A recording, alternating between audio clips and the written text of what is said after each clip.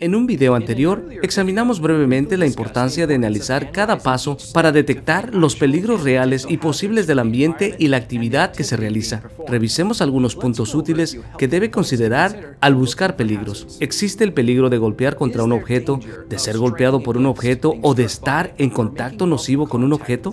¿Puede el trabajador quedar atrapado en, por o entre objetos? ¿Existe la posibilidad de resbalarse o tropezarse? ¿Puede el empleado caerse de un nivel a otro o incluso en el mismo nivel? ¿Puede la acción de empujar, jalar, levantar, bajar, doblar o torcer provocar un tirón? ¿Es el ambiente de trabajo peligroso para la seguridad o la salud? ¿Existen concentraciones de gas tóxico, vapor, emanaciones o polvo?